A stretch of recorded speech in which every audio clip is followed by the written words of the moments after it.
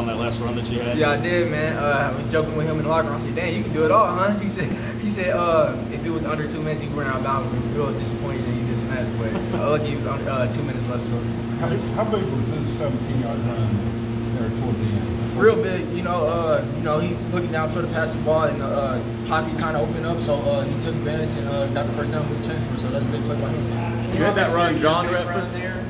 Uh, you know, just running. You know, I saw it a couple times where I could just cut back, and I just I was like, man, forget it. I'm gonna tr- trust my read, but if it's not there, I'm gonna just cut it all the way back. And everybody, receiver got their block. Phillip Brooks made a good block. Dalton Schoen made a good block, and uh, we all we all we all uh, did our part, and we able to move the chains and win the game. You guys had around you know 60 or 70 yards as a team for a while on the ground. Were they loading the box really?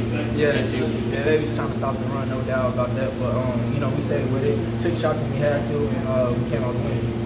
How do you? How, how tough is that to continue to just run the ball, run the ball when you know that teams are sticking seven, eight guys in there? I mean, that's what we are. That's that's our identity. So y'all can load the box up. When we got a chance to take one-on-one shots, we're gonna take the shots. But we don't run the ball. That's our identity. That's what we are. as football team. Is this an ugly win or a pretty win? Uh, I mean, anytime you win on the road, it's a big win. So uh, I don't know. Take it how you want to take it, but it's a good win for us.